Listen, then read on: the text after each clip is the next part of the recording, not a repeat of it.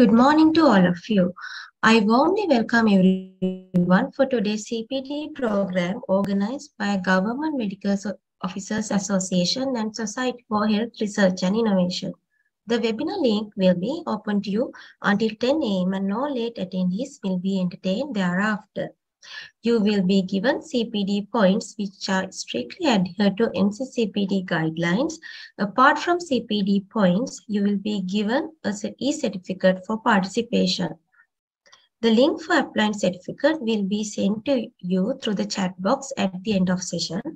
Also, we kindly ask you to mute your microphones and switch off videos to avoid any interruption during the session. So let me introduce Dr. Himal Osanda Kalambarachi, acting consultant physician, to introduce today's speaker. Dr. Malti, thank you for your kind introduction. Uh, good morning, everyone. Welcome to today's uh, webinar session on non-invasive ventilation. Today, our speaker is Dr. Uh, Jagat Pushpakumara. He's a consultant physician in internal medicine. Uh, he's actually product of uh, Ruhuna Medical Faculty. Uh, and he, he got his MD in uh, Colombo Medical Faculty and he got a tra training, uh, foreign training in uh, uh, renowned uh, foreign training centers in UK. one is, and he got about two years training in Basingstoke and Northampton Hospital in UK as a registrar in respiratory medicine. Then he obtained his MRCP in UK and MRCP in London as well. And he received a postgraduate diploma in respiratory medicine in UK uh, year 2020. Uh, after uh, he returned to Sri Lanka, he's, he has worked in uh, two hospitals as a consultant physician, based Hospital Velva and uh, two COVID hospital in Buttala. He's currently working in uh, Professor Senaka Bibile Memorial Hospital in Bibile He's, he has a special interest on respiratory medicine, thoracic ultrasonography, rural procedures, and point of care ultrasonography. So without further ado, uh, I'll ask, uh, I'll invite Dr. Jagat Pushpakumara to uh, start his talk on non-invasive ventilation. Dr. Jagat, sir, session is all to you now. Thank you. Uh, good morning, Himal, and thank you very much for the kind words of introduction. GMOA SHRI Academy and the team, as well as Dr. Nandini for giving me this opportunity to talk to you on um, NIV um, or non-invasive ventilation. Um, as Himal mentioned earlier at the beginning, so I'm not a respiratory physician, though I have a bit of interest on respiratory medicine. So I'm going to share my knowledge, which I gathered from the UK as well as um, while I was working in different hospitals. So let me share my screen first.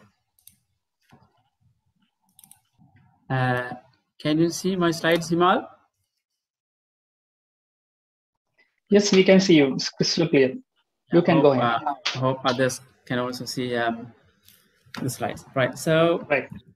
Um, so next one hour or so, I'm going to talk you um, or take you through about uh, the following topics here. Um, the understanding of basics of non-invasive ventilation and the review of different types of NIVs, uh, indication and contraindications for NIV, and what's the reason that COPD or, or, CO2 retention occurs in patients with COPD, and how to start and manage NIV, and a bit of NIV troubleshooting, and review a few cases. And at the end of the presentation, uh, the questions which I have given to you already will be discussed as well. So this is a bit of literature that um, I googled or I searched. It's it says uh, non-invasive ventilation improves outcome in patients with pneumonia associated respiratory failure. This is a uh, systematic review of um, meta-analysis. Um, if you search Google, you will find lots of um, articles uh, on how NIV improves on um, patients care, patient care, and improves the patient's uh, mortality benefit as well. And this is another one, of course, um, outcomes of associated outcomes associated with uh, NIV over invasive ventilation. It says um, in a large prospective cohort study, uh, patient with COPD treated with NIV at the time of hospital hospitalization had lower inpatient mortality, um, shorter uh, length of stay, and lower cost compared with those who received intermittent ventilation or mechanical ventilation. All right, so well, let's start with the case scenario. This is one of the best that I came across when I was working in the UK. She was um, 63 year old lady who admitted to um, the hospital with worsening shortness of breath and productive cough for three days duration. She had also fever for two days and she had increased lethargy for two months. Um, her exercise tolerance normally only 20 yards, but for the last few um, weeks or so, she had been gradually declining.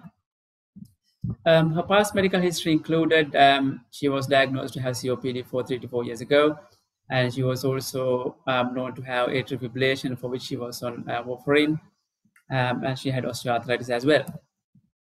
These are the medications on admission, which you all normally know. So salbutamol, alendronic acid, um, some calcium supplements, warfarin, and all other uh, necessary medications for COPD management. So um, social history, she was a smoker for 45 years. Yeah, um, um, generally 20 cigarettes per day, and she has stopped smoking five years ago. And no history of um, ethanol or alcohol use. She was self-employed, but now retired, and a widow. Uh, she lives alone, and she normally walks with a stick at home. So these are the admission observation um, during the ED. Her temperature was 37.7, blood pressure was like 140, heart rate was a bit high, is 130, respiratory is again high, 34. Uh, saturation or SpO2 on 24% uh, of um, FiO2 is 89. She was dehydrated, normal heart sounds, the jugular venous pulse was normal. There wasn't any lymphadenopathy. Auscultation revealed she had um, widespread polyphonic inspiratory and expiratory factors, hyperresonant percussion, and she was using uh, accessory muscles for breathing. Um, and abdomen was uh, soft and non-tender. And this is a chest X-ray. You can see there are lots of changes of um, chronic lung disease. It's hyperinflated, elongated mediastinum, lots of fibrotic and some reticular shadows as well. And there may be a bullae here as well. It looks like it's pretty horrible chest X-ray of course, with regard to her past medical history of smoking 40 years or so, so it's no wonder that she could um, acquire this uh, chest X-ray. Um, these are the bloods on admission. Hemoglobin was 16.1, platelet was high. Um, white cell count was 26,000. Uh, the neutrophil count is predominant, INR 6.9 electrolytes were normal and she had evidence of CO2 retention um, as the CO, uh, bicarbonate is quite high. Her renal functions were normal, but CRP uh, was high, which reflects that she is probably having an underlying chest infection as well. So this is a blood gas in the resuscitation unit. So by looking at the blood gas, what would you do? So looking at the pH is pretty acidotic, and then you have to see the primary uh, disorder. If you look at the CO2 and bicarbonate, you can identify that CO2 is very high compared to, it's, it's even more than double the upper normal limit. This is quite high. And she's hypoxic as well. And saturation was 86, base, base excess is 13, and the bicarbonate is 35, which means that patient is having um, chronic CO2 retention and the metabolic part is trying to compensate. So what did we do that um, do we after the um, ABG? So the post ABG decisions were, I mean, um, there's something called ceiling of care or at which point or to which point we go maximum for a given patient and that normally should be decided by the clinician as well as uh, after discussion with the patient and the family as well considering all the medical and the comorbidities factors as well so likewise we decided um, that this patient NIV is uh, ceiling of care or the maximum care that we can support she's not a candidate for ICU um, or intubation and ventilation or, or, or um, level 3 treatment so she was started on BiPAP and then continue uh, the treatment for communicable pneumonia as well. And she was not for HDU ITU admission, and uh, she had uh, DNA CPR form uh, placed in situ. Um, um, well, at the outlook, the outlook was very bad at this patient, so we did not expect her to last for the rest of the day. So that was the case of, uh, I mean, we do see these kind of cases every day in our day-to-day practice as well. But see how far we can go in our in our country as well. So interaction coming to NIV, so NIV is provision of ventilatory support through the patient's upper airway using a mask or a similar device or similar uh, interface. So it's a non-invasive interface as the name, name implies because we are not using um, invasive like endotracheal tube or tracheostomy tubes. So we normally use either nasal mask or face, face mask or a nasal plug. So it's very important to um, select the patients for NIV because um, every patient with COPD not may not be eligible for to receive uh, NIV because you need um, careful consideration which patient needs or which patient will comply and which patient will not comply.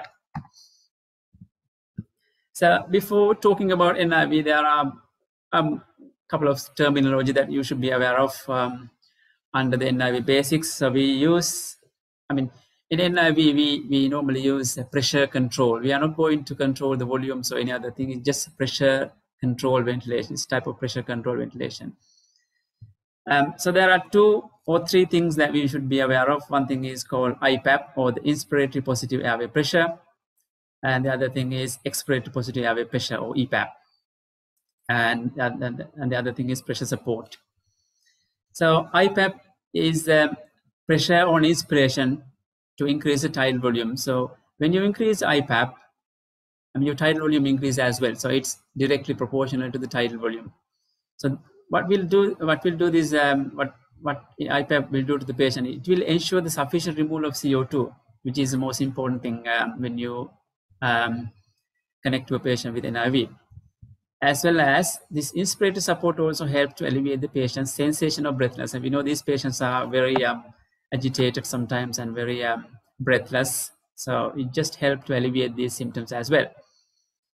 Um, EPAP or expiratory positive airway pressure is, um, so what it does is uh, um, it opens up, it, it delivers the pressure during the expiration to overcome the obstruction or airway collapse.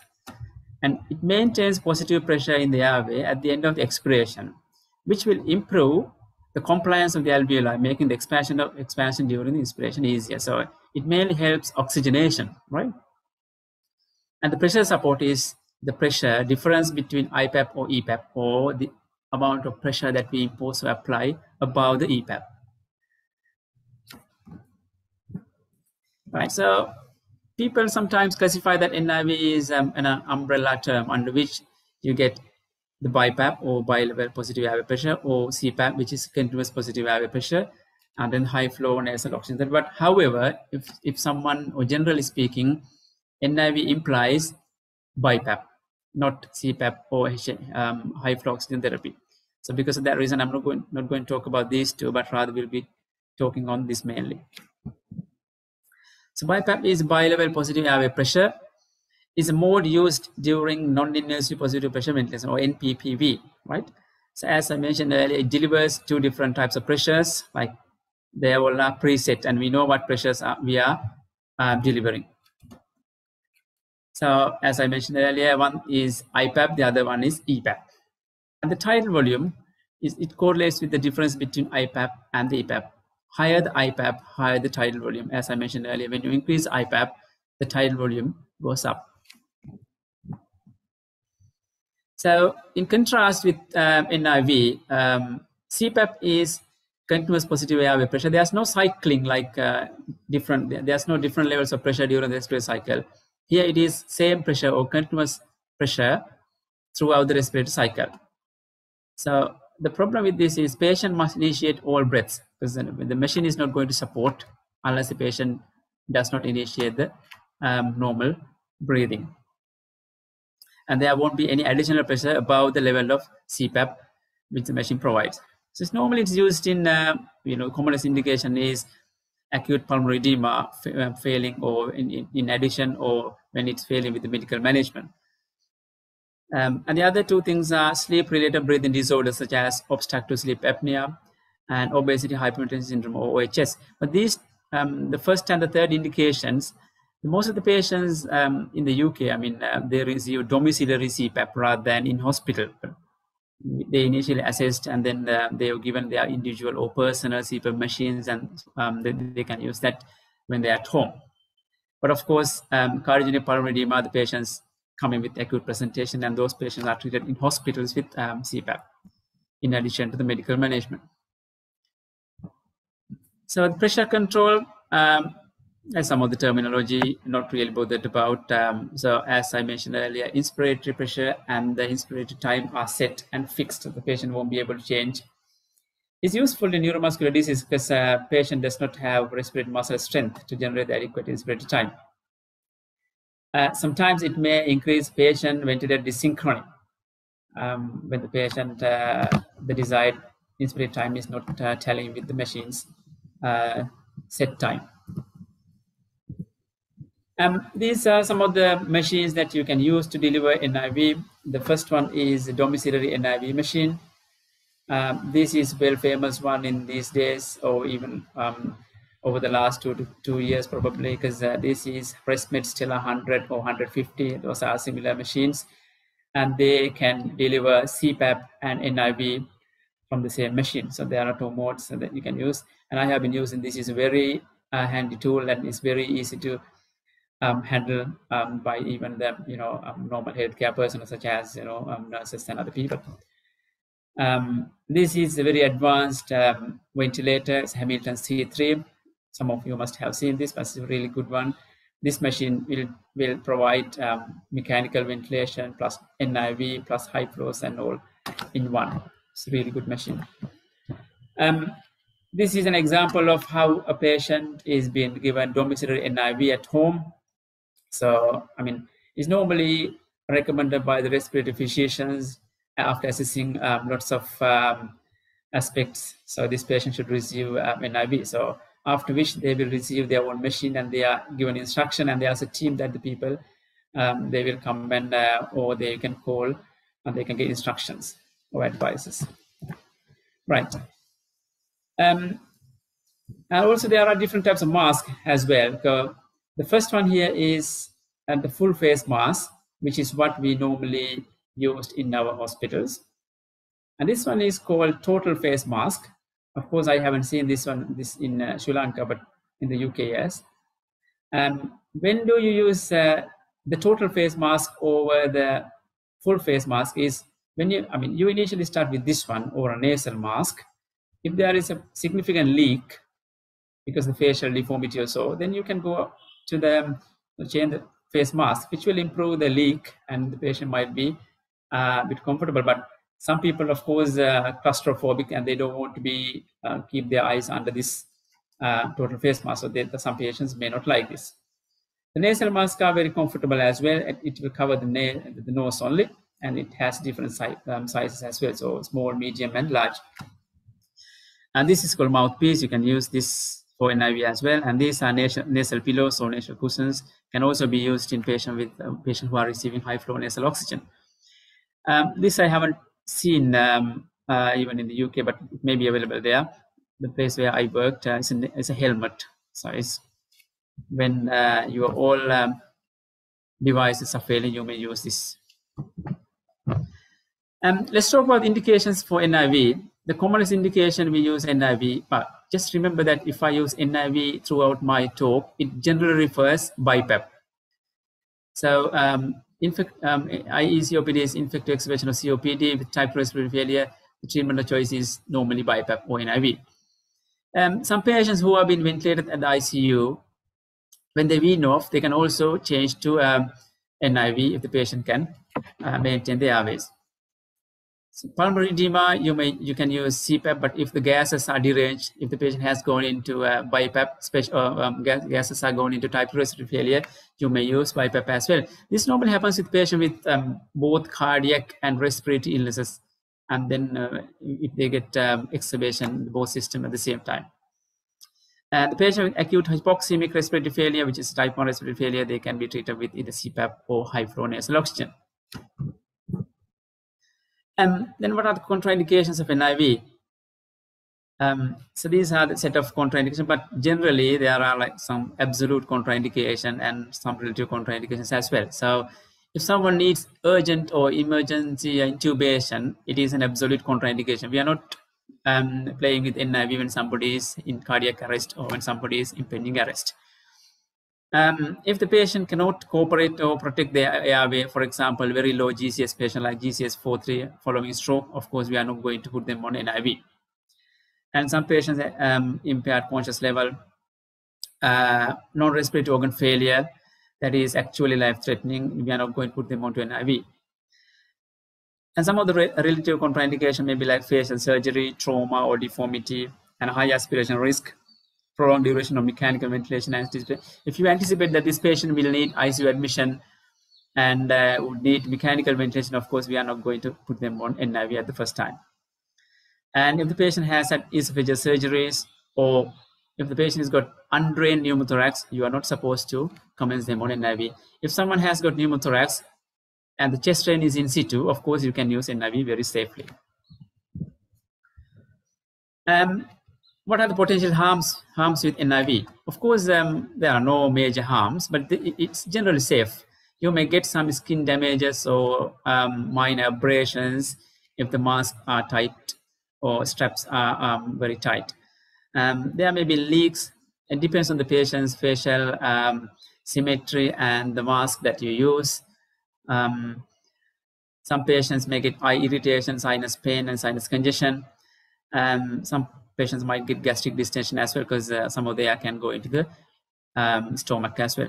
So this is something, um, for example, assume that you are driving in um, uh, expressway or a highway with a rate of, um, let's say, speed of 100 kilometers per hour. And if you put your head out of the window, you might feel that very strong wind blowing into your uh, onto your face. So something like this, very pressurized air coming and hitting on your face. So it may be uncomfortable, but when you get used to that, it's, it's very um, the patients are very comfortable. The important thing is you need to advise the patients from the beginning what is NIV and how it works and how it helps the patient's condition. Um, so why do you get CO2 retention? uh, when you come when you when you um, consider about patient with COPD, um, there are lots of changes happening inside their chest as lungs as well as the whole physiology. I'm not going to talk um, in detail physiology. This is um, a very um, com complex looking uh, formula. But what happens uh, uh, with COPD patients, their minute ventilation goes down and their dead space increases. As a result, CO2 production will go up inside the uh, inside their body. So this is again uh, the same thing. So decreased minute ventilation and global hypoventilation, and then the increased dead space. You know, most of the areas of the lungs um, are not being properly ventilated because compliance is poor. As a result, they get uh, increased CO2 production. But there are other conditions as well that you can get uh, increased CO2 uh, production inside your body, such as like fever, thyrotoxicosis, you know, all other sepsis uh, that you normally know. Um, so as I mentioned earlier, COPD increases dead space, is initially compensated by increasing their tidal volume or, or minute ventilation by increasing the respiratory rate. So those are the people that we called earlier pink puffers, but we don't normally use that term anymore. And uh, the, uh, when they lose that ability ability of compensation, they will become cyanotic. So then they, those people are called blue bloaters. Right. So some of the patients, you know, we, you know, COPD is graded in, uh, you know, grade A, B, C, D according to the GOLD classification. So some patients, they are hypercapnic, but when you treat the exacerbation, they go back to the normal blood gas results. So some patients might not actually need COPD, but with the medical management, you can uh, cure them completely um, that episode. So the other causes of CO2 retention are if the patient cannot breathe or patients unable to breathe, they, they both look similar, but uh, the causes are slightly different. So for example, patient can't breathe if he's under overdose of sedatives, such as like narcotics or benzodiazepines or encephalitis or strokes and those, those kind of things.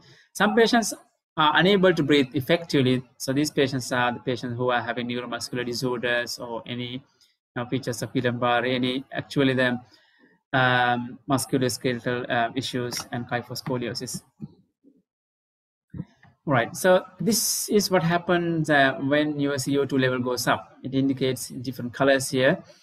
So the volume of um, um, CO2 volume percentage in air. If it's like 1%, 3%, 5%, 8%, you can see what happens here. So 1% is the lowest one. So you get just drowsiness only. But if it goes up and up, they get reduced hearing, narcosis, and then further up, you get dizziness, confusion, and headache. And then when it is pretty high of 8%, you get um, unconscious and dim light, sweating, tremors, and all. So at, at that point, your CO2 levels are very high inside the body.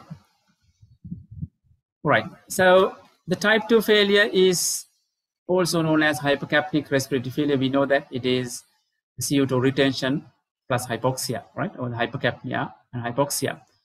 And if you consider the UK um, um, statistic, it says acute hyper, hypercapnic respiratory failure results in 50,000 admissions in each year in the UK. I don't know how many in our hospital because uh, there's, there's no um, recent published trials or studies done. Um, so most of these patients without respiratory support or ventilator support, they're at higher risk of dying. Right, so it says that incidence of acute hypercapnic respiratory failure is similar to upper GI bleeding. So without vigilant identification and management, the mortality is very high.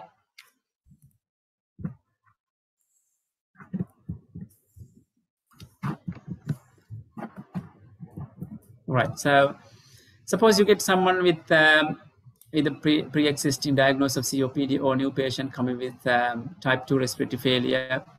And then of course, uh, the treatment of choice uh, is early initiation of NIV. So this is um,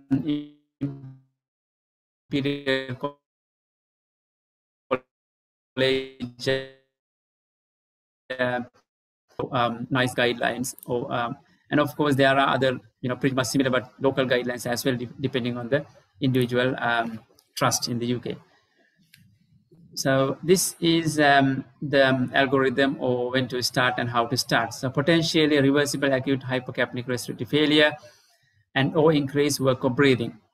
Then this is specific other indications as well, as I mentioned earlier, like uh, muscular uh, chest wall deformities and all, and kyphoscoliosis. So initially, assess the COPD or someone with COPD, assess the blood gas, look at the pH. If it's less than 7.35, and your CO2 level more than 6.5 and the respiratory rate is more than 23 despite one hour of medical this is very important this the anyone who is coming with exacerbation of COPD plus type 2 respiratory failure you need to initiate the medical management first which includes back-to-back nebulization with um, um, salbutamol and or ipratropium plus steroids antibiotics uh, and other supportive treatment and you look for and you wait for one hour and then repeat the blood gas. If there's no good improvement of course next step is to start NIV and we are not going to start NIV straight away just just the moment we saw the gas right?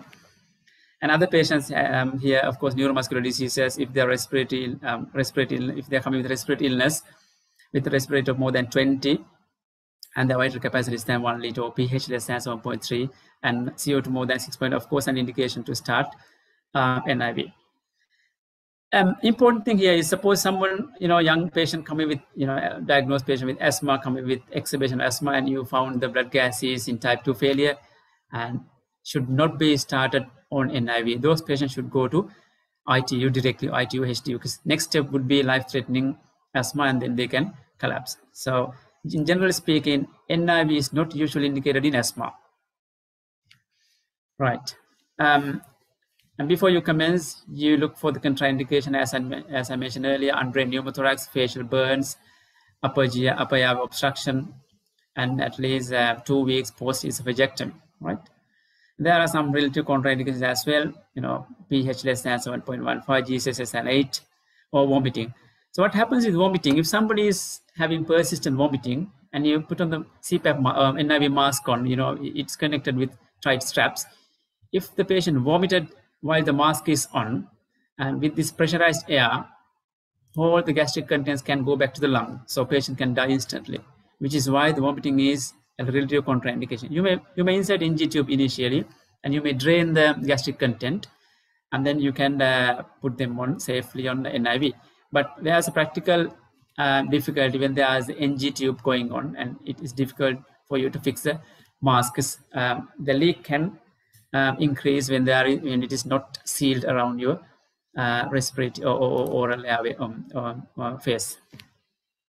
And of course, uh, there are indications that you should not delay for the patient who needs ICU referral. For example, a patient with type 2 failure uh, who are diagnosed to have bronchial asthma rather than COPD and impending respiratory arrest. And if you cannot maintain the uh, normal hemodynamics or parameters while using NIV, which means the patient is further deteriorating. Right. So this is the NIV setup. As I mentioned earlier, um, no, you know, when you when you switch on the machine, I mean, there are different machines that you should be familiar of because the machine to machine is different. I use um, either Flight 60 portable ventilator or ResMed Stellar 100. But likewise, you have different machines in your hospital. Um, most of these machines have this facility. So starting pressure is you go to the um, spontaneous time mode, OST mode, if the patient can breathe on his own. And then uh, IPAP normally starting pressure is 10 to 15, but this is changed later in 2016 guideline. This is 2008 guideline. So you start with IPAP of 10 to 15 and the EPAP of 4. But you may have to go a little higher in patient with OSA because their, their, their pressures, uh, they need a bit of higher pressures. But generally speaking, do not go beyond 8. These pressures are mentioned in water centimeters, not in mercury millimeters. So the starting pressure of um, NIV is 10 to 15, but this was changed in 2016 to um, you start with straight away 15 and ramp up um, accordingly until you get the desired uh, tidal volume and the patient feels better. And then later in 2016, again, this EPAP uh, changes to uh, 3 as well. But in generally speaking, you can still start 10 to 15 of IPAP and EPAP of 4 as well as you must remember that if the patient is quite big, you know, as a muscular man or a woman, then you may have to go a bit higher pressures. If the patient is very thin built, like, you know, 30, 40 kilos, you may start with pressures of IPAP of 10. And the most important thing again here is explain the treatment to the patient prior to fitting the mask. I will show you in one of the um, um, uh, videos down in the, the next few slides. So when you start the NIV with, let's say, the 10 and the 4, and then you increase IPAP over 10 to 13 minutes, you know, within half an hour to 20 to 30 water centimeters, but not straight away. Um, you normally go by two. So if it is 10, you go by the next step. Next step is 12, and then 14s until you get the desired um, um, amount of hemodynamics uh, until the hemodynamics improve, which means um, patients' uh, respiratory rate and saturation sometimes as well. So important thing to remember here is do not exceed um, IPAP of more than 30 because that high risk of barotrauma.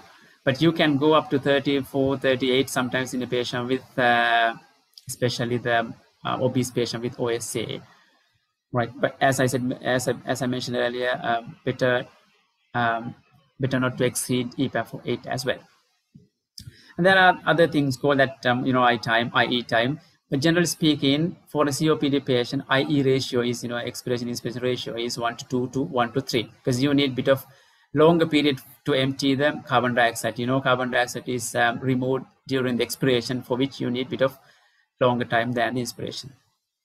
Patient with neuromuscular disorders or obesity, hypoventilation syndrome, OHS, you can put, uh, you can set the IE ratio to 1 to 1. So how to monitor the NIV when you start somebody on NIV? Of course, uh, you need to monitor them, you know, continuous cardiac monitoring and saturation at least the first 12 hours. Patient should be connected to the uh, multi-para monitor and should be monitored and, and the maintenance chart should be um, uh, followed. Ensure the patient's CO2, oxygen, and SpO2 parameters are set. We'll tell you later again. Right, so after NIV setting, if the CO2 remains high, so what you should normally do, I will come into another slide, um, uh, the following slide. You initiate them on uh, NIV with the given pressures, for example, like let's say 10 and 4, and then you have to repeat, you have to do the blood gas in 30 minutes to one hour and see you, whether your pressures are doing the job. If not, this is what to do.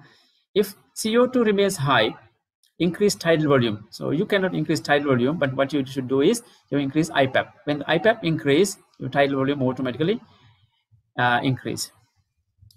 If the patient's oxygen is low, saturation is low, patient remains hypoxic, then of course increase EPAP. You started here probably four, and then you're probably go up to five or six. Or you can also increase FiO2. Remember, um, too much of oxygen uh, patient who are very sensitive to oxygen or CO2 can uh, uh, de uh, deteriorate if you give too much oxygen. Whatever you do, and you must update that in the NIV management chart. I will show you that in later, later side as well. Right, so use, um, use NIV as much as time as possible in the first 24 hours. And they mentioned, the literature mentioned, of course, at least or minimal 16 hours should be uh, connected to the NIV machine during the first 24 hours. It is not ideal for you to take the NIV off. For example, if you start NIV in the morning at let's say 8 a.m., so it's not safe to take the patient um, off from the NIV machine in the afternoon or so. At least you must try to give or provide NIV as long as possible during the first 24 hours or at least 16 hours. Of course, you can allow the patient to eat and drink. That, those things are called meal breaks, which normally can last only for 15 to 20 minutes, during which you can give controlled oxygen via either venturi mask um, or nasal cannula right? And then patient should go back to the NIV with the same settings. So, um, so next 48 to 72 hours depend on ABG and clinical review. So some patients, I mean, I have experience, we've been providing NIV for, you know, five to seven days and it's difficult to be enough. And some patients, of course, their gases improve following day and then we can uh, uh, wean them off within two to three days, right? If any patient's pH goes down or CO2 levels goes up and NIV is not tolerated, of course, you need to uh, in, in, um, you need to get the support from the experts.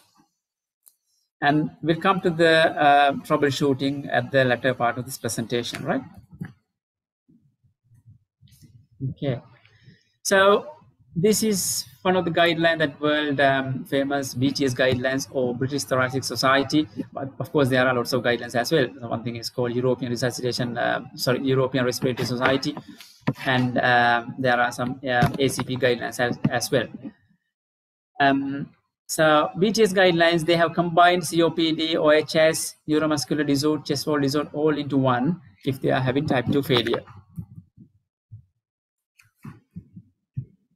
So the recommendations, the first recommendation, of course, you must avoid them getting into hypercapnic respiratory failure. So when someone comes to hospital, you there are ways that you can prevent them into going into respiratory failure. So oxygen should be used with care in all individuals at risk of acute hypercapnic respiratory failure. And of course, use a target oxygen saturation ranges from 88 to 92. This is very important. COPD patients, they, they, they, most of those patients, are in chronic respiratory failure or CO2 retainers, if we tries to if if we try to um, correct the oxygen level to 94 or above, they will definitely deteriorate. Because of that, they have given a low saturation target, which is 88 to 92 in all self-ventilating patients at risk of hypercapnic respiratory failure. I, I, even have seen there are, I mean, we, we maintain even lower saturation than this, like, you know, early 80s, like, um, um, yeah, for patients who are at, at high risk of uh, developing type 2 respiratory failure. If someone needs oxygen, of course, you should start them on controlled oxygen um, uh, treatment, which is via a venturi mask, which is why you, this is called a fixed performance device, and you can start with 24%, and then you can gradually go up until you get the desired target of 88 to 92. Right. So the recommendation two is consider NIV when pH is less than 7.35, CO2 more than 6.5 in kilopascal, and the respirator is 23. Consider starting NIV in hypercapnic patient with neuromuscular disorders or chest wall disorders uh, in, the, in the absence of acidosis. You don't have to wait till the patient develops acidosis, but in, if you have these two, of course, you can commence them on NIV. NIV should not be used in acute hypercapnic asthma and must go to the ITU. Um, do not delay starting NIV or continue with it when the patient is deteriorating as both increase mortality, right? So as I mentioned earlier, should not delay as well. And if the patient is deteriorating, I mean, either, either way patient can um, die. So these are the differences from 2008 guideline to uh, 2016 uh, BTS guideline. Indications, we know that we have um, uh, we have uh, gone through the indications of NIV. In 2008, they mentioned pH 7.35 and uh, pH less than 7.35 and CO2 more than 6. But later, um, the, later it changed to um, pH remains the same, but CO2 more than 6.5 and respiratory, they have included respiratory more than 23 as well. And this is what we follow up now. But um, pressures wise, you can uh, start from 10 to 15 as well. So setting up NIV, here, of course, uh, this says um, CT2 is core trainers 2 in the UK, which equals to, let's say, house officer or senior house officers or above. But in our setup, um, medical officer, any medical officer who is competent or who has been using NIV can initiate patients on NIV after discussing with their immediate supervisors.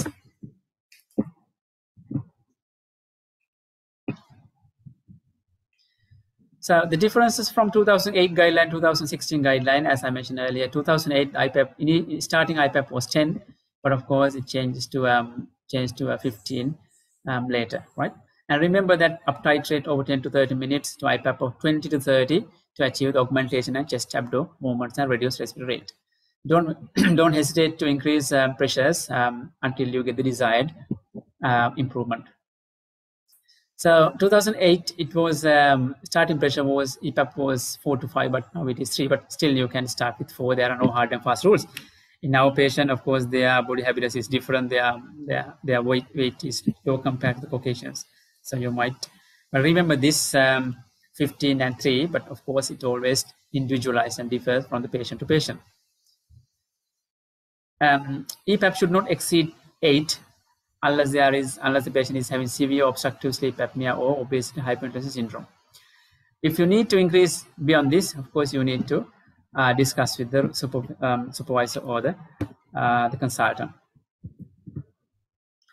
So this is a summary of um, the last 15 to 20 minutes which I um, talk. So someone who is coming with COPD, pH less than 7.35, CO2 more than 6.5, and your respiratory is more than 23, um, high risk of deterioration, or patient with neuromuscular diseases, and patient with obesity, with than 7.35, CO2 more than 6.5, and respirator more than 23, or daytime PCO2 more than 6, and somnolent.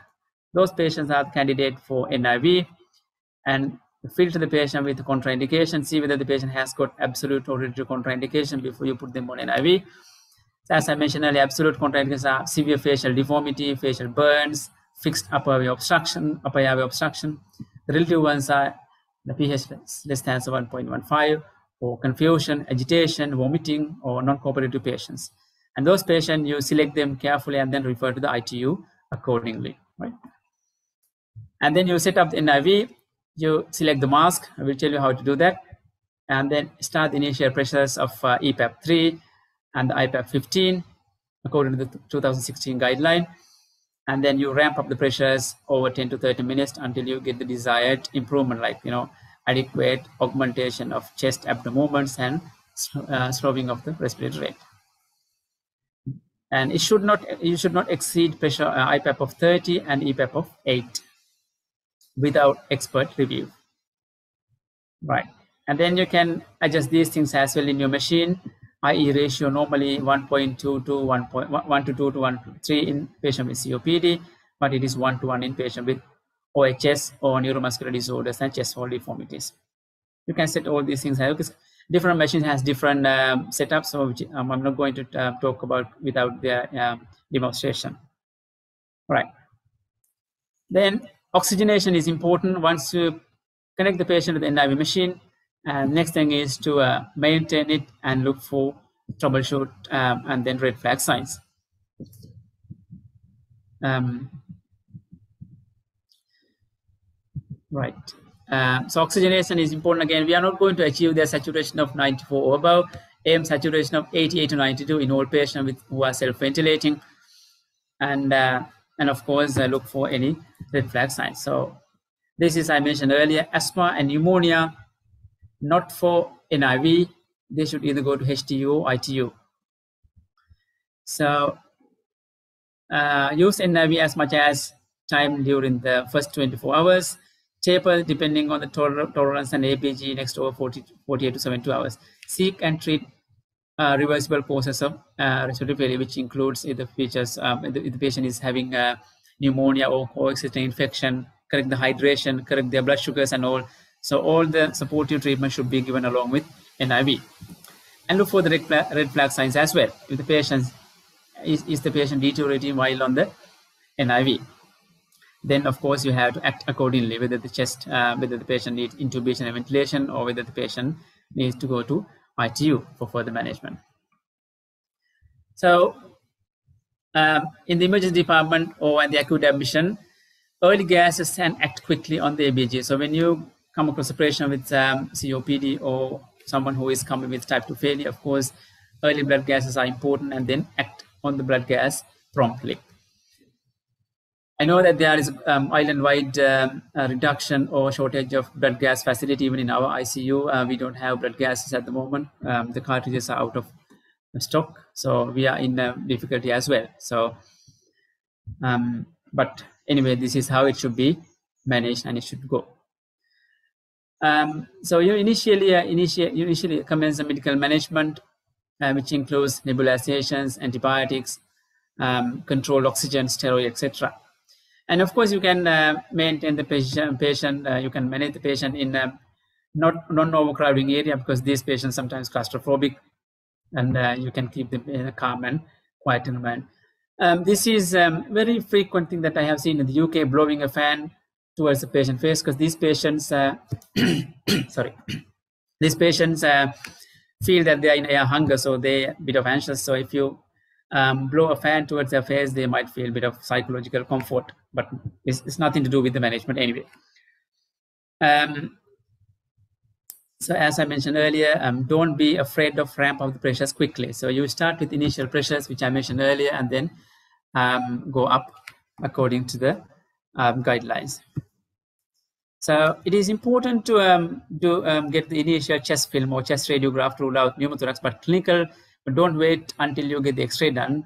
You have to uh, justify with your clinical findings whether the patient is having pneumothorax or not.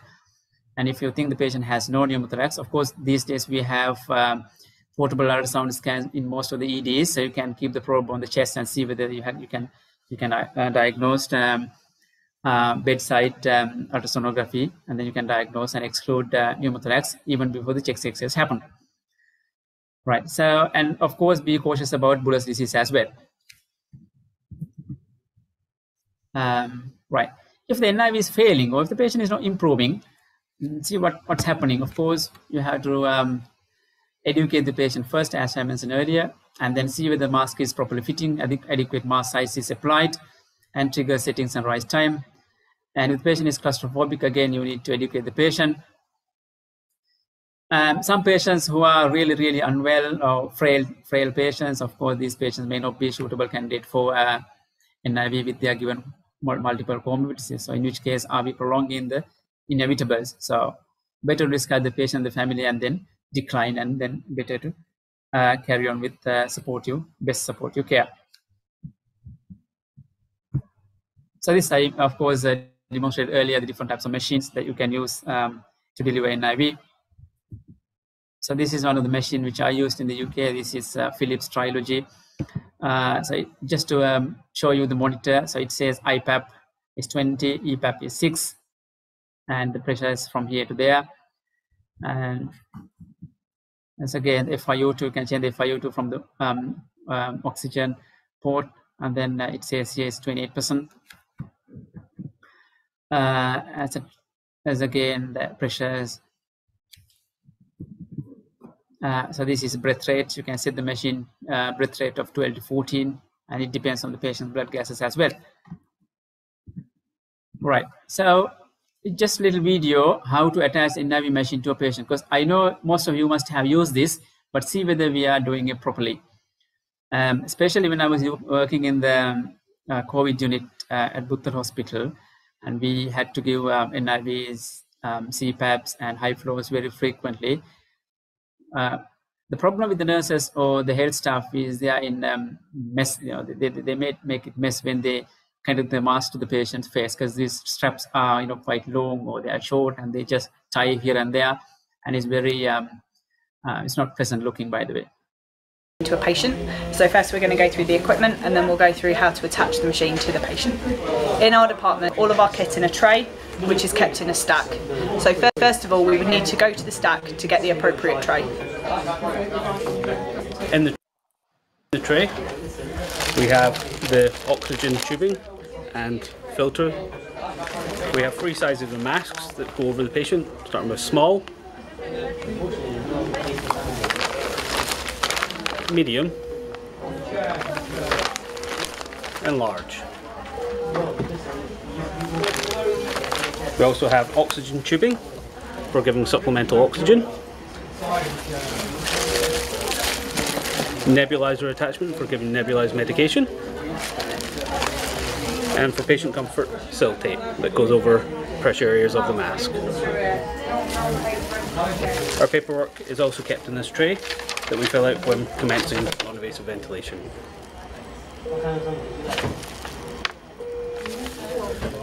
Everything that should be kept in the tray is listed in the tray so it's easier for us once it's been used to make sure that we stock up effectively.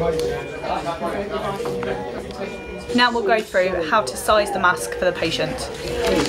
So when you're sizing up the mask, you want to size up in level with the eye and the lower part of the lip. And as you can see on this, by this mask, it's a medium. So let's open it, the bottom edge, just pull across the perforation, and take all the contents out. That'll give you the mask with the strap.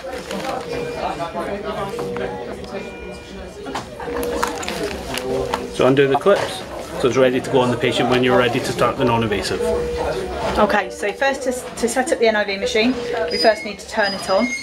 So we press the power button. We then take the tubing with the filter attached to it out of the bag.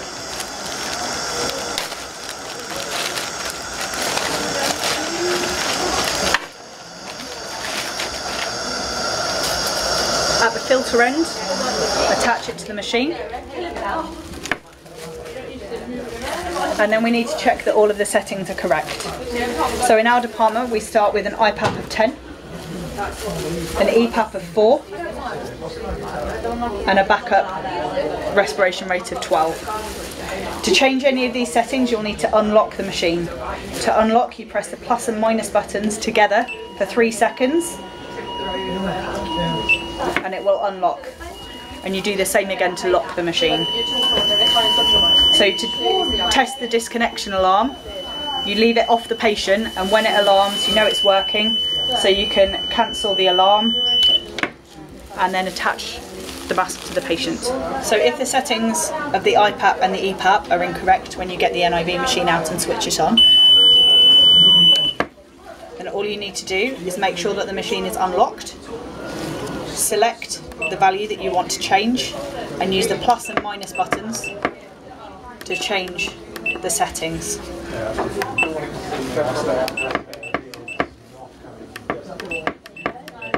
When it's 10 over 4, you press set and that's what will be delivered to the patient. So first you attach the tubing to the mask, like that. And then you place a mask over the patient's face. In a cooperative patient, you can get them to hold the mask, put the mask on so they get used to the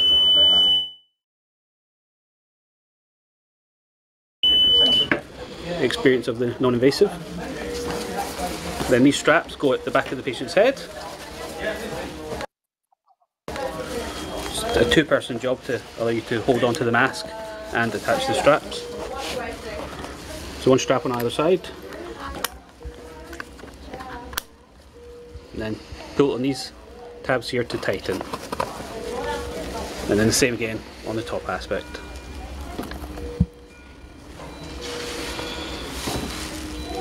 And once you have attached the mask, feel around the mask for any leaks. And you shouldn't feel any air coming onto your hand.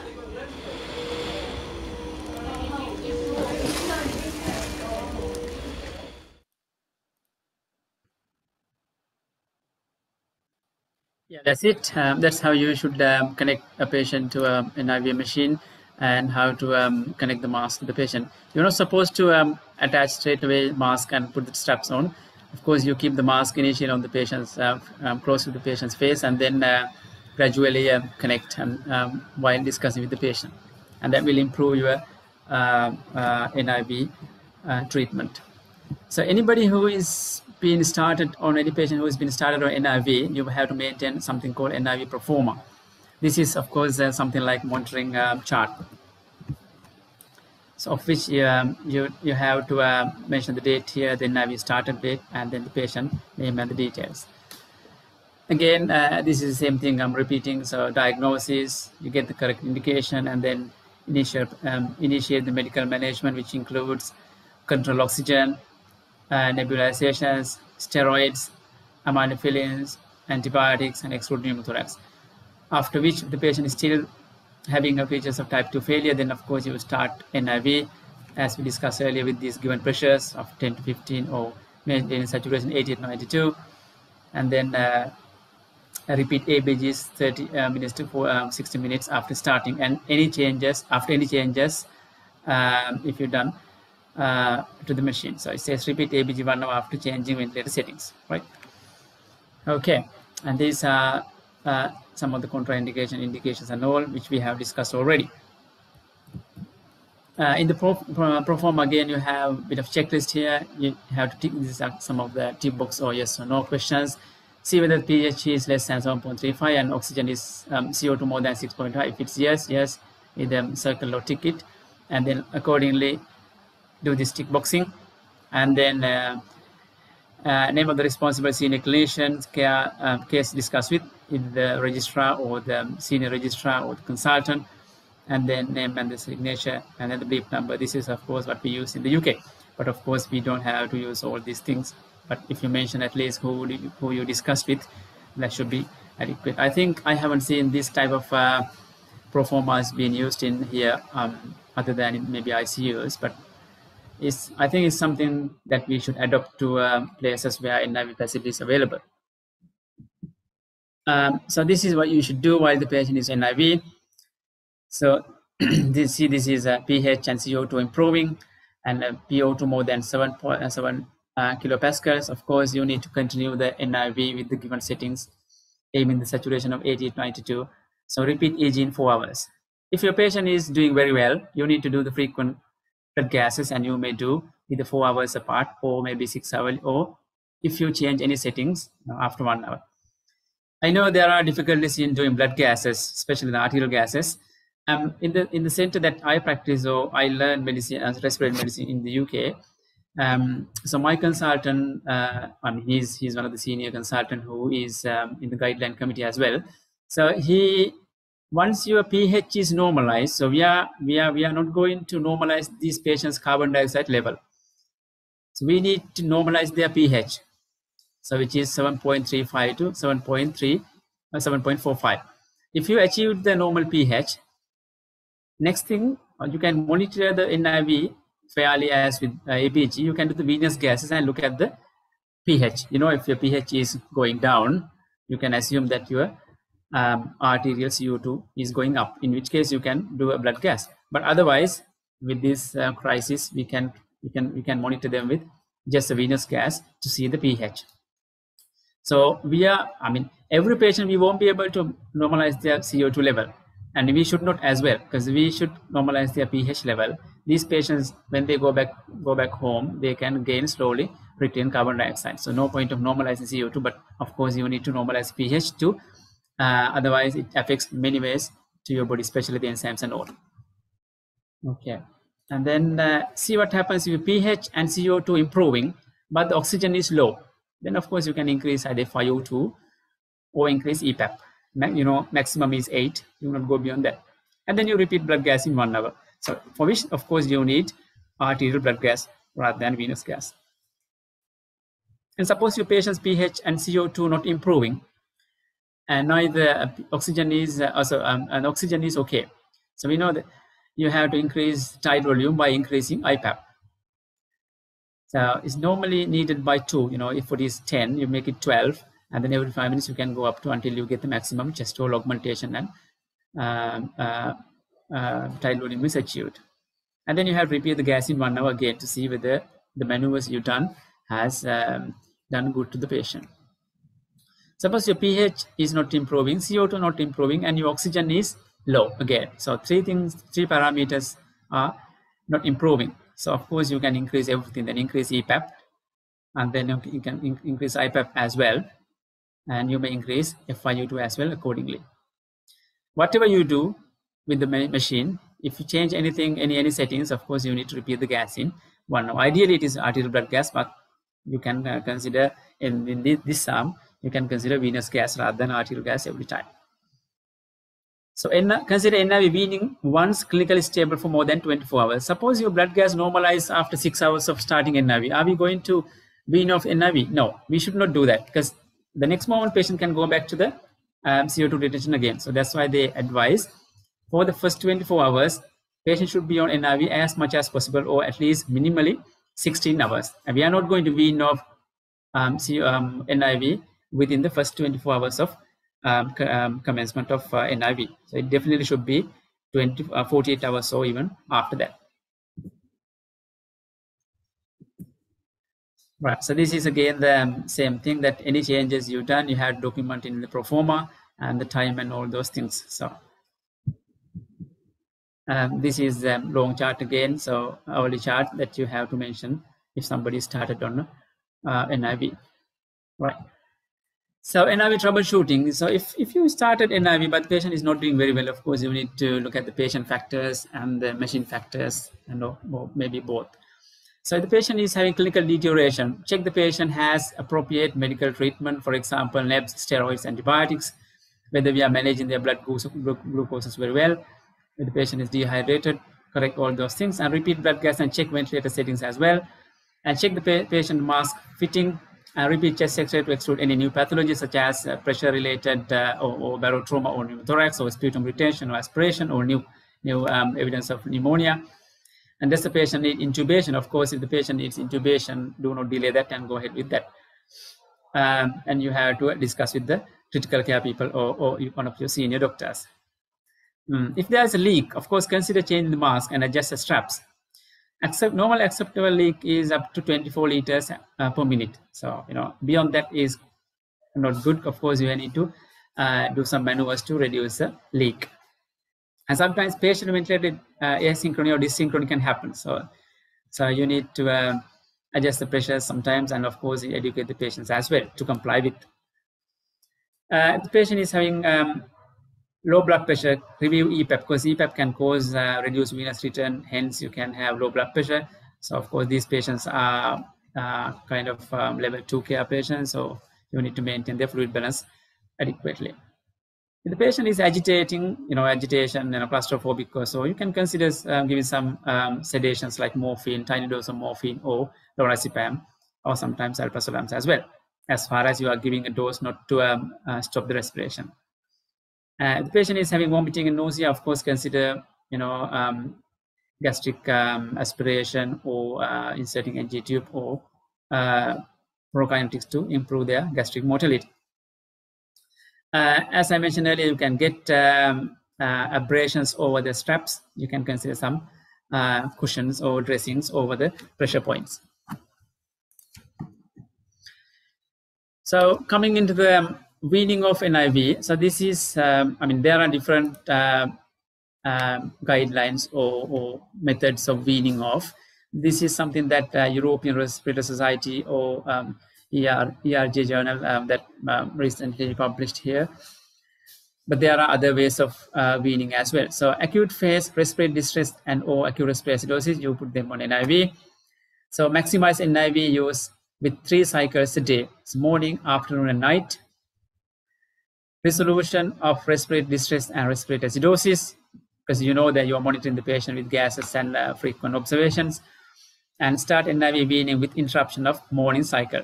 So initially you stop the morning cycle, and then see whether the patient is going back to the um, original blood gas, which means the patient going back to the type 2 failure. Recurrence of respiratory distress and or respiratory acidosis, of course, if, they are, if the patient is improving and blood gas is still normal, then you can do weaning with suspen suspension of afternoon cycle and for last night cycle. With every cycle, you need to do the you need to assess the patient with the blood gas. Suppose you take the patient uh, patient mask off uh, after the morning session, and then you do a gas in the afternoon. See whether the patient is uh, having respiratory acidosis. If yes, of course, you need to go back to the the, the, the very first um, settings and then keep the patient is still on, which means the patient is not suitable for weaning off. Right. So there is there's another way of uh, weaning off as well. You can do four hours on, four hours off, which means um, when the patient's blood gases are improved after the first 24 hours, you can keep the patients on NIV for four hours, and then you can keep it off for four hours, during which you can give control oxygen, and then plus overnight NIV. And then you do a blood gas in the morning, early in the morning, following day, see the patient is okay. If the patient is okay, you take the daytime off and just give the nighttime or nocturnal uh, NIV and do another blood gas on the following day. If it is normal, then you can take the uh, nighttime NIV as well. But if it is abnormal, again, go back to the previous sessions of NIV uh, treatment. Right, so these are some of the cases. Uh, see whether you can um, quickly go through this, uh, those cases. A 65-year-old non-COPD admitted with SOB and cough. On examination, noted to be breathless, saturation 97 on 60% of venturi, heart rate 100, 102, blood pressure normal or slightly high, GCS 15 and slightly drowsy, no peripheral edema. Chest X-ray hyperinflation of the chest, white cell 11, hemoglobin 12.5, CRP is 30, um, uh, 35. This is the blood gas, pH is 7.3, 1 and oxygen is all right, 13. Uh, CO2 is slightly high. Um, CO2 is, um, bicarbonate is uh, within the normal range. Base excess and lactate as normal as well. So diagnosis is possible acute exacerbation or infective exacerbation of COPD plus acute hypercapnic respiratory failure. Um, so the treatment goals are minimize uh, optimize medical management, which includes antibiotics, NEBs, steroids, um, hydration, and all, and reassess with blood gas in one hour. Consider NIV early. And this patient is 72-year-old non-heart failure, COPD, and CKD, a bit of shortness of breath, mainly exertional for the first week, and um, and now at rest, she is having breathless.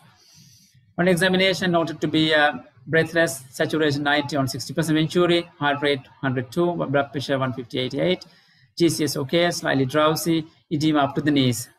Chest X-ray cardiomegaly and congested lung fields, white cell 11, hemoglobin 13, and UN is normal, uh, CRP is 20. Blood gas, you can see the normal pH here, or slightly high probably, uh, normal pH here. Oxygen is pretty low, and CO2 is again uh, within the reference range. Bicarbonate is towards the um, uh, lower limit of normal. Base excess is okay. Uh, lactate is 2. This patient is likely having um, acute decompensation heart failure plus type 1 respiratory failure. So, of course, the treatment is offloading with diuretics, and you can consider CPAP here because it's type 1 respiratory failure and then supportive care.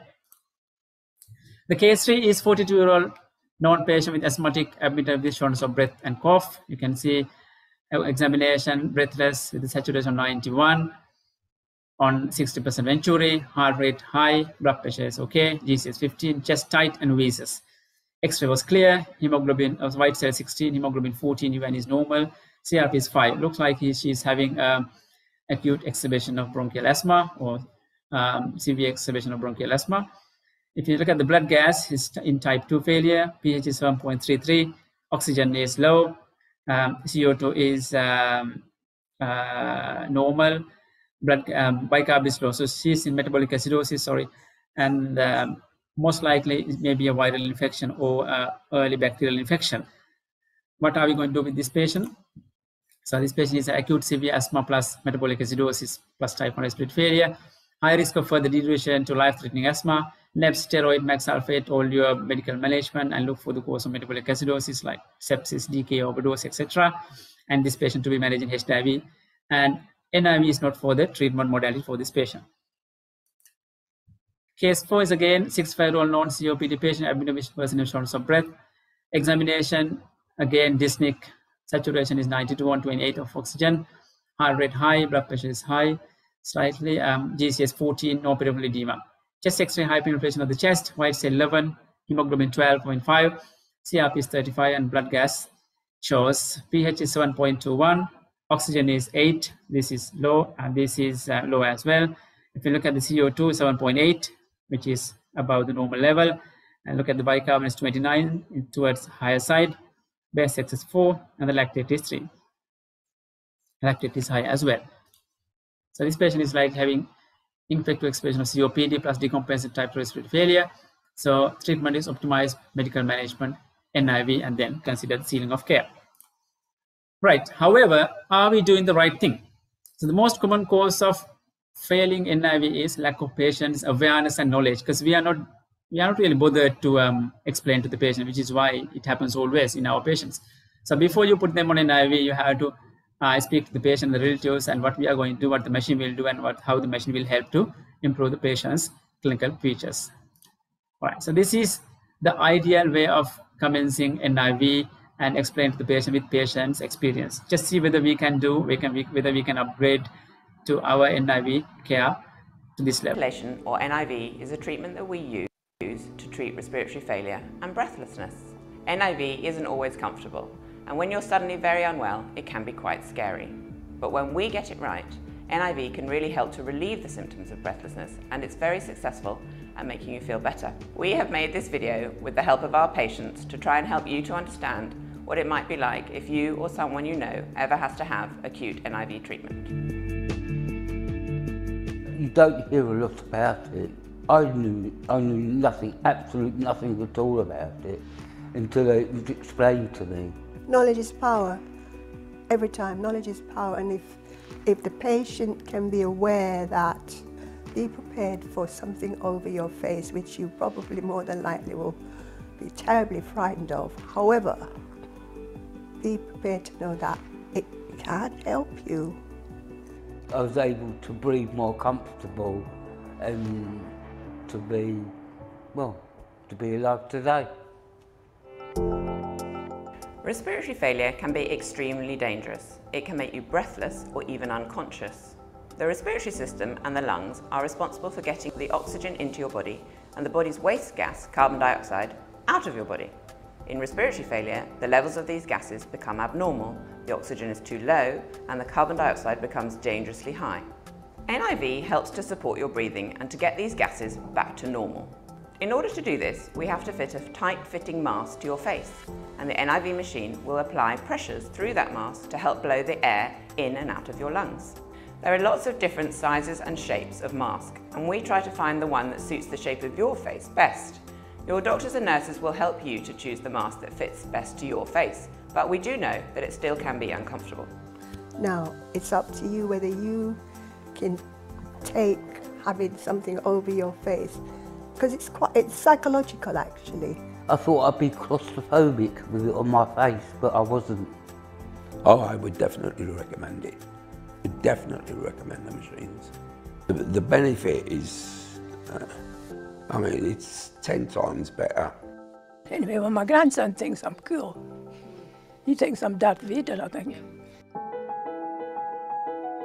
After we've found the right mask for you, it does take some time for your gases to come back to normal. Whilst you're on the machine, we monitor you very carefully during this time and we will change the settings of the machine in response to the results from your blood gases. Throughout this period, we try and make it as comfortable for you as possible. Whilst you're on the machine, it should make you feel less breathless, it should help your breathing, but it can take some time to get used to. But if you relax, you should be able to feel more comfortable and less breathless. While you're on NIV, you will be looked after in certain areas of the hospital. These areas can be quite busy and quite noisy. They have lots of different alarms and lots of different people. While you're on NIV, you will be monitored very closely. You'll have a probe on your finger monitoring your oxygen levels. You'll have a monitor monitoring your heart rate and we will take your blood pressure regularly. There will be a team of doctors, nurses and physiotherapists to look after you. There will always be a nurse around. They will show you how to take the mask off and how to call them with the call bell. They will be available to make you feel as comfortable as possible and to answer any questions that you might have. Going on is amazing. I know that I'm going to be, it's like a wee tune. It puts me asleep. I can. Li- I like my audible books, so I'll have a book to listen to. And just go that, go with it rather than fight it. If you fight it, you're not getting anywhere. And you're gonna need it anyway. And you're not gonna get any better if you don't use it. So it's best to just take it easy and let yourself go. To monitor the gases in your blood, we need to take arterial blood. The blood test is done in your wrist, and we do what we can to minimise the number of blood tests that we need to do. Your doctors, if you're going to be on NIV for a prolonged period of time, may put something called an arterial line into your wrist, and this helps reduce the number of times they have to take separate blood tests. For the first 24 hours of treatment, you'll be on the mask pretty continuously. You will be able to have breaks to go to the bathroom, to have cups of tea, and to have your chest physiotherapy and take your medication. Over the second and third day, we will slowly bring down the number of hours that you have to have the mask, and eventually we'll just be giving it to you overnight. Some people do need to go home with NIV, in which case we will set that up for you while you're in hospital. I was using it all through the night and I was asleep and that was very good. And I woke up with it and uh, after a certain amount of time it felt that as if I, it wasn't there. I was just breathing on my own. You can tell yourself and you can tell your, you know, the patient that you know what, this is actually good for you. So let's get through the uncomfortableness of it, of the actual apparatus, and uh, let it do its thing. NIV can be a life-saving treatment, but we know that it is uncomfortable and it can be difficult to tolerate. We aim to make sure that our patients all have control over their treatment, and we know that you might not want to have NIV at all, or to see somebody you know or love being treated with NIV. Your doctors and nursing team will discuss all the options with you and help you to make the right decision for you. There's lots that we can do to make the treatment more tolerable and help you to get better. Try. Definitely you must try it to, to experience it, I think. You must try it to experience it for the better for your health. For someone who's never used it, and if they think that it's something that can help them, I would never stop them. I would never say, no, don't do it. It did bring me back from the brink of death. I would definitely say do it. Uh, if you want to improve how you feel and your, your health, I mean, I've seen with my own eyes the improvement over hours uh, and then days, do you know what I mean? So I would definitely say do it. Just go with it. Go with it and you will. And you'll be, uh, it'll be the, good, the best thing you've ever done. But you have to go with it. I think it's just like being a spaceman, really. You know, you, you, you're just trying something else that's not been tried before. And uh, it's just an adventure, really.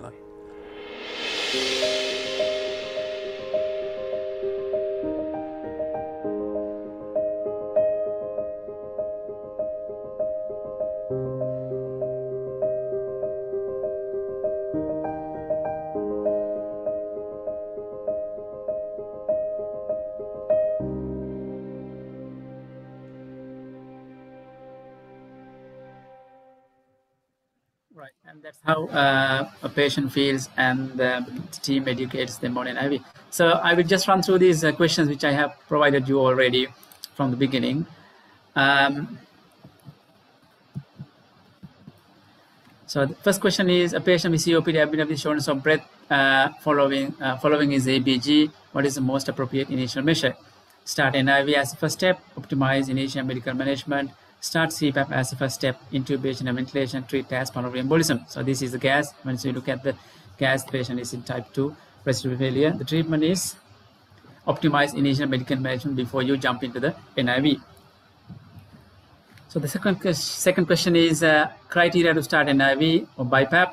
pH should be less than 7.35, CO2 more than 6.5, able to maintain the own airway, all above or none of above. You know the answer is all above.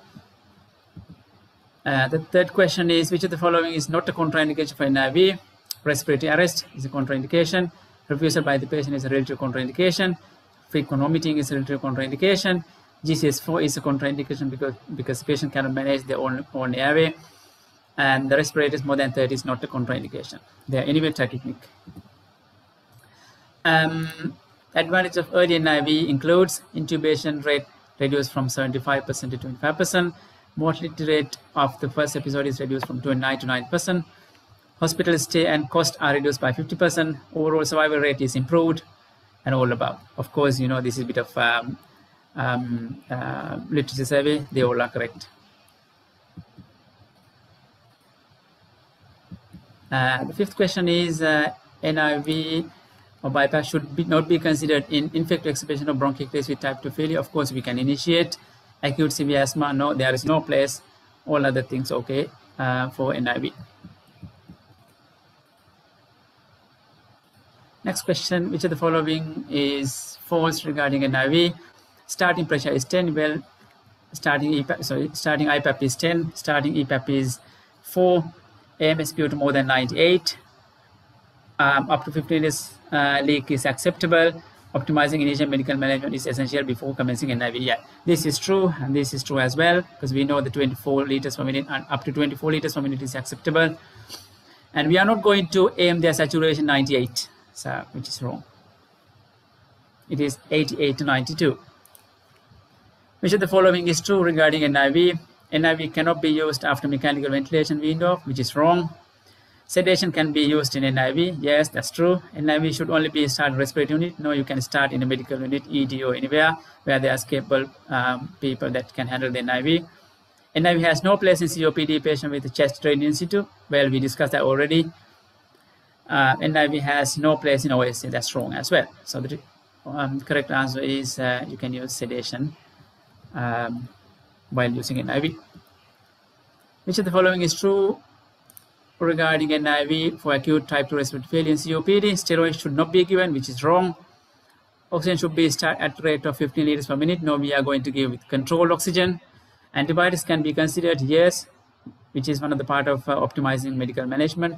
Nebulizations are optional, which is wrong. Nebulizations are essential, not optional. You have to use that. Aminophylline can be, aminophylline infusion is contraindicated, which is wrong again. So the correct answer is antibiotic can be considered. The ninth question, which of the following is true regarding monitoring NIV or BiPAP in type 2 failure? Four hourly ABG should be performed until weaning start. No, we are not going to that. Patient education results in high success rate. We already knew that. Always try to normalize blood CO2 level. No, we are not going to do that. Each and every patient, we are going to normalize the pH as much as we can. Change of mask type has no effect on success. Of course, there is. 21% of oxygen cannot be used in NIV, which is a normal air. Of course, you can use. So the correct answer is patient education results in high success rate. The last question, which of the following is true regarding weaning of NIV? Patient should be on NIV minimum 16 hours on the day one. Yes, this is true. Uh, ABG should be performed after six hours of any change of setting. No, we know that it is one hour or at least 30 minutes, one hour after that. Or sometimes you can do it four hours if the patient is very stable. Consider NIV weaning once clinically stable for more than 72 hours. No, if the patient is stable more than 40, uh, 24 hours, then you can consider weaning off. You don't have to wait to wait for three days. If the pH is normal, no weaning is required, which is wrong. When the pH is normal, then only you are planning to wean off. No ABG is required during the weaning off. Of course, you need um, to see the response of weaning. So the correct patient should be on NIV minimum 16 hours on day one, which is the first 24 hours. And that brings the end of my presentation. I think um, I would love to hear your feedbacks, um, uh, any comments or suggestions. If you could uh, please drop me a WhatsApp message to this number or an email to jagatsoni at gmail.com. And that's it. Thank you very much for listening. Thank you, Dr. Jagat, for that fascinating and very informative lecture on NIV. I think uh, we all have learned a lot in this session. So, uh, before I start a Q&A session, Dr. Jagat, I would uh, like to ask you after the session, if you can play the first video with the sound, that will be great. Oh, sorry. Uh, can I go back? Uh, just, yeah, uh, just after Q&A. Just after Q&A. Oh, sorry. Okay. Yeah, yeah, yeah. So, shall we start? Yeah. Uh, so, uh, the first question. What is the difference between high flow nasal oxygen and regular nasal oxygen? Uh, yeah, you know the regular nasal oxygen from let's start from nasal cannula and then the normal face mask or simple face mask or venturi mask.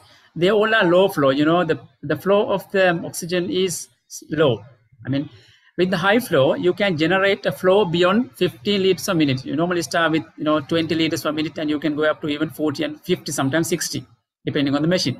So that high flow generates kind of automatic automatic PEEP, which is a peak um, and expiratory pressure, which helps you to keep the airways open. So which is why like, you know, all these patients with COVID pneumonia or um, uh, patient with pneumonia, uh, you can open up the airways by giving high flow. So the normal or ordinary oxygen um, devices are low flow. The high flow is the flow rate that they provide, that the machine provide. Right. The second question, I think you have discussed it this. Uh, the audience need again answer uh, this topic. Uh, the difference between uh, use of CPAP and the BiPAP. Yeah. CPAP is normally we consider patient patient with um, type 1 respiratory failure because that machine or that uh, treatment option will give a continuous pressure throughout the respiratory cycle. There is no pressure changes or pressure difference between inspiration and expiration. And we are not bothered about CO2 retention in type 1 respiratory failure. So you need to oxygenate the patient. So which is why you consider CPAP in a patient with type 1 respiratory failure in contrast to an NIV patient who is having type 2 respiratory failure.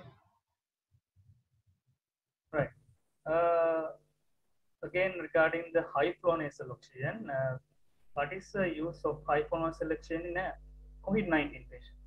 Well, it depends on the patient's condition. You know, some patients who are, who, for let's say, someone who is been doing very well with um, six liters or ten liters of normal oxygen or venturi, or you know, suppose if you happen to go to a non-rebreathing mask in a patient with COVID pneumonia and your saturations are still not hitting the uh, relevant targets, you can then consider before going into intubation, you can consider high flow oxygen by which the machine will deliver high flow rate with um, um, automatically generated uh, small um, PEEP and patient will be of course uh, patient will feel much comfortable and will um, most of the patient will improve. And the need of intubation and going you know invasive ventilation is pretty much reduced with the early use of uh, high flow especially the patient with covid pneumonia. But of course it depends on the stage as well. Right uh, the next question also again uh, regarding the high flow nasal oxygen. Uh, what is the use of ROX ratio in uh, other in NIVs? I haven't, of course, uh, I haven't come across uh, that facility, um, but I never used that. But of course, uh, I can, uh, I can, if someone is having anything, I can do the literature survey and, of course, send a feedback. I'm sorry about that. so this is regarding another again the machine issues.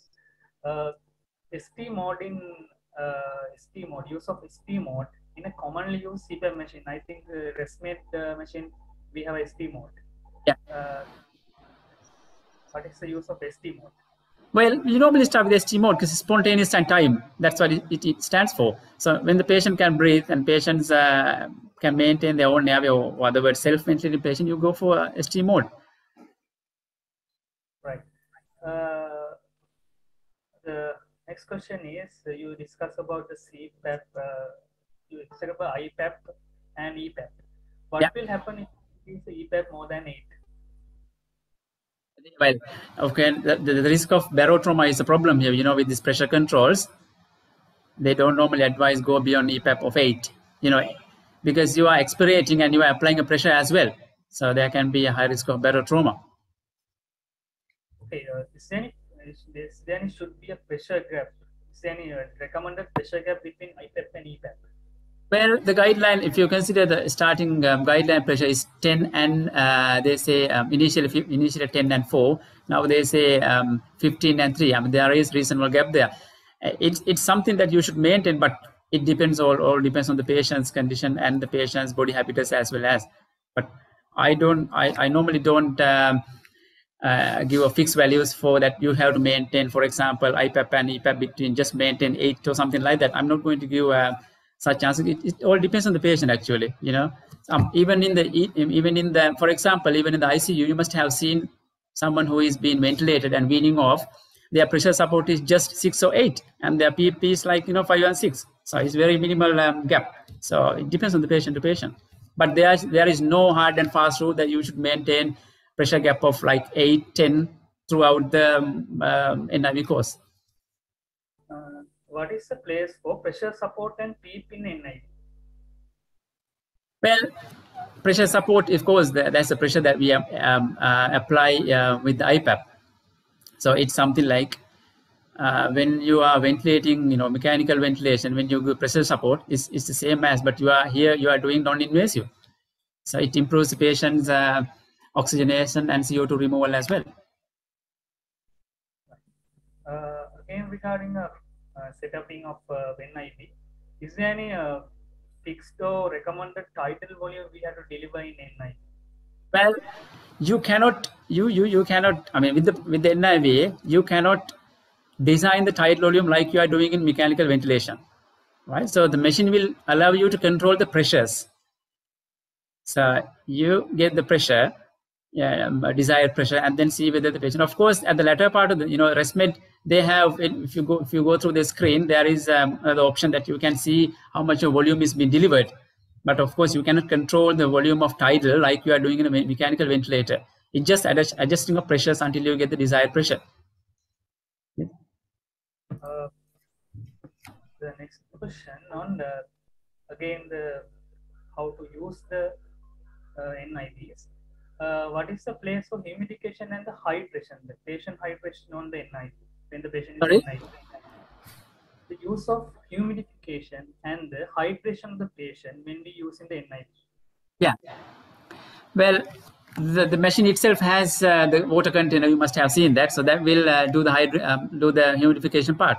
If not, if you have connected uh, the oxygen source, suppose you are getting oxygen from uh, wall oxygen port or um, a jumbo cylinder, there's humidification uh, port there, so you can do that. But the hydration of the patient is different, which is normal hydration, like you might need uh, intravenous fluid as well. Did I answer your question, or did I get it wrong? Yeah, I think our audience asking uh, whether we have to extra hydrate when the patient in the NIV. Um, not really. I mean, there is no uh, such um, guidelines given. For example, like uh, you have to correct the deficit or something like that. For example, five percent additional or like that. There is nothing you might, as far as the patient's hemodynamics parameters are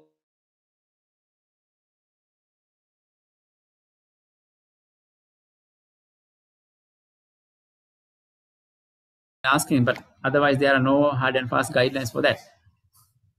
But of course, these patients are critically unwell. You might need a bit of extra hydration than uh, non-patient who are not non NIV. Uh, what is the difference between domiciliary NIV machine and the standard NIV machine we use in hospital? Yeah, well, it's a good question actually.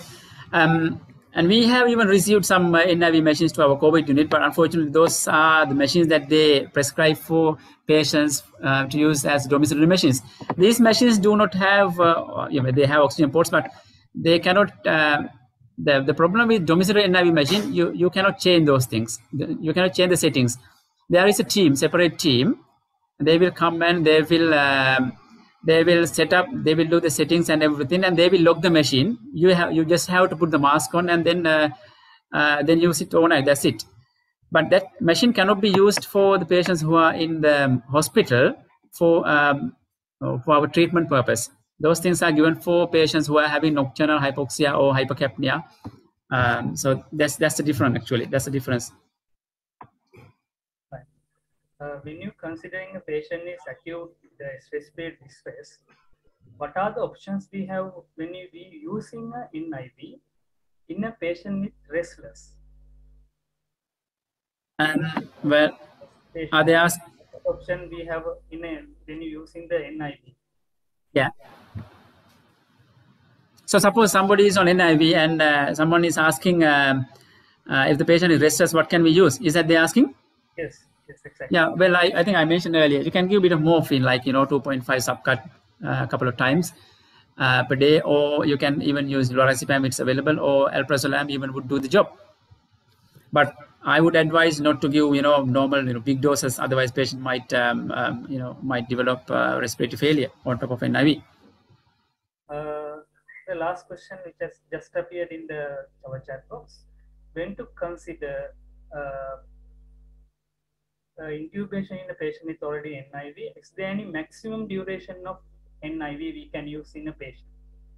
There's no time duration. Suppose your patient is uh, deteriorating five minutes after the NIV and not tolerating, of course, if the patient is for full escalation, which means um, ITU care, of course, you need to um, promptly intubate. Uh, or, I mean, there's no proper time duration. At any time, they can deteriorate. If the patient is for full resuscitation facility, full resuscitation, then you have to stop NIV and go for mechanical ventilation.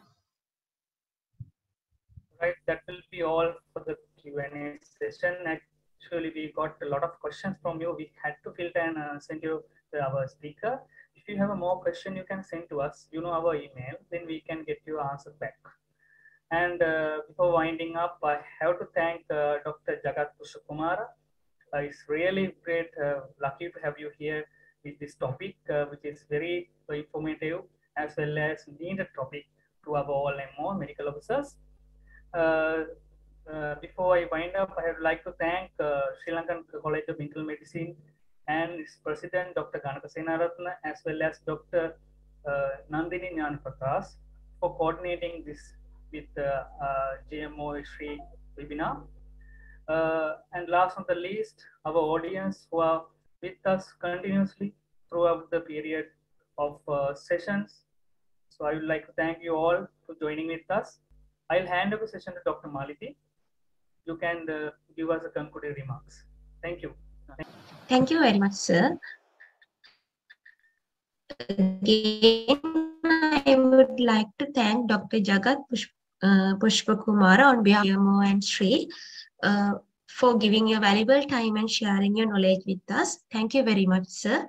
So uh, we are going to wind up our session now. We will see you on next week. Um, thank you very much, um, GMO SHRI Academy, and uh, everyone who helped me to, um, and of course, giving me this opportunity to present this uh, uh, lecture on GMO SHRI um, uh, web platform. Thank you very much.